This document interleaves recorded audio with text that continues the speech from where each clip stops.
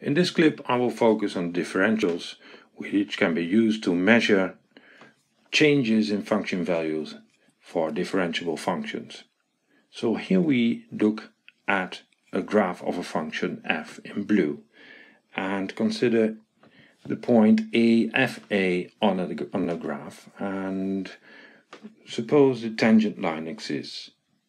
So the tangent line in AFA through AFA has a slope f prime a, which is the derivative of the function in a.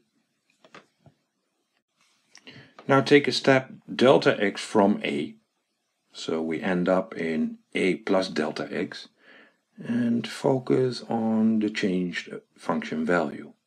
So we are moving from fa to f in a plus delta x. Yeah, so there's a change in function value. We try to estimate the change in function value delta y. So the first part is if we would have taken the tangent line as an estimate of the an accurate estimate of the function value changes, then we would have seen a jump f prime a times delta x. And in purple we see the thing that is still remaining, that's the gap epsilon. So the actual change delta y equals the estimated change. Yeah, so delta y equals fa plus delta x minus fa. It's the estimated change along the line so f prime a times delta x plus the purple one. Now that's the total change, the precise change in function value. So in yellow we see a change along the tangent line. And in purple that's the gap between delta y, the exact, the actual change, and the estimated change if it would have followed the tangent line.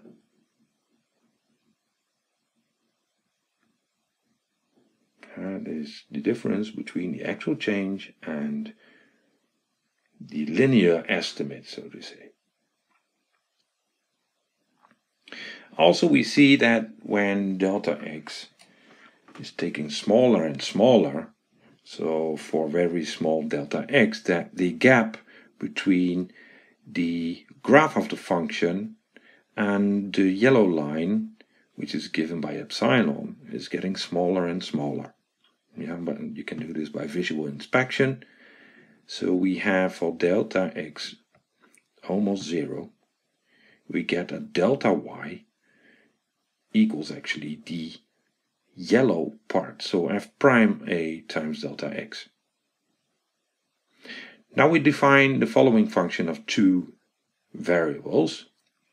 So suppose we have a differentiable function, at least f is differentiable in on some interval, then we may speak of the differential dy, the differential dy, is the function of two variables.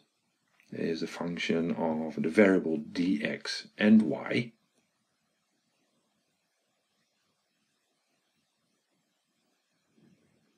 And what we do is dy, here two variables x and y. x is usually chosen around a and uh, dx is a kind of expressing the value of delta x. So dy equals the derivative of x in of f in x times dx. So how can we interpret the differential dy?